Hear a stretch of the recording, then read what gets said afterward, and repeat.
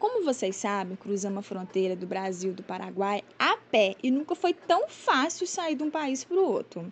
Não tinha polícia, não tinha nada, aquele vucu-vucu de gente entra e sai do país, mas tivemos uma surpresa depois.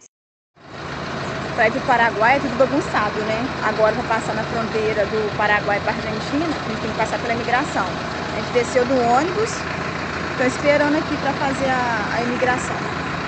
Essa é a imigração para sair do Paraguai, pois ia ter outra para entrar na Argentina. Mas como assim? Para entrar não tem, mas para sair tem?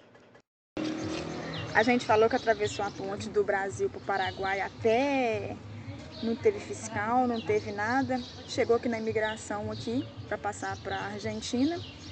A gente ficou preso. depois que passa a gente ri, né? O ônibus nosso foi embora a gente está a pé aqui na imigração esperando o ônibus. E o homem queria que a gente não carimbou o passaporte na entrada do Paraguai. Ninguém pediu, né? Aí o que, que aconteceu? Você vai, tá?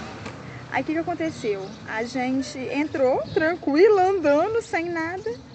E agora para sair, a gente não tinha um papelzinho. Tem que ter um papelzinho escrito entrada, escrito saída. A gente não tinha esse papel. E o que aconteceu? A gente que pagar a multa. Ele pediu mil reais a multa, convertido, né, para reais. Era 200 mil, sei lá o que lá. E o Fernando ficou chorando e tudo, aí depois pediu 500 reais.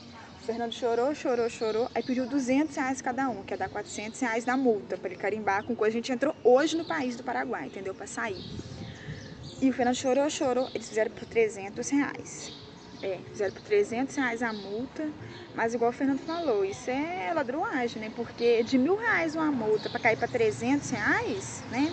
Aí o Fernando falou que a gente é mochileiro e tal, que não tinha dinheiro, enfim. Saiu por 300 reais a multa. Mas, gente, é muito ruim você ver esse ônibus embora, ser preso na imigração por causa de um carimbo. E, tipo assim, era só a gente ter passado lá na ponte, lá na ponte da amizade, para ir pro Paraguai e ter carimbado o, o, passaporte, falando coisa, a gente entrou, entendeu? Mas a gente não sabia. Como não passando a pé e voltando a pé, a gente não sabia que precisava disso.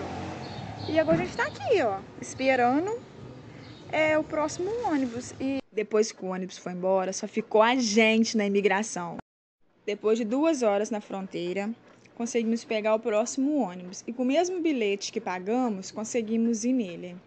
É, gente, não é fácil não, tá? Você vê o seu ônibus ir embora, só você ficando preso na imigração por causa de um carimbo. E parece que isso já é feito proposital, para pegar os bobos igual nós.